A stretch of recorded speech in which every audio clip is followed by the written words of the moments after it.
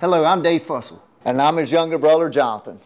I used to walk outside the beach house and see my wife drinking our sweet Scuppernong wines with all kinds of fruits in it. And I'd say, What the world is going on? She says, you've got to start bottling this. It's incredible. It's incredible. For two years, we've worked hard trying to figure out what she was making on the beach deck. And we came out with our white sangria blended with some great mangoes and our red sangria blended with some delicious peaches. All of our wines are fruity and sweet, fresh and lively. I'm going to taste just like you're going to bite into a bunch of fresh grapes. And just like my grandfather always said, every little sip would make a lady smile.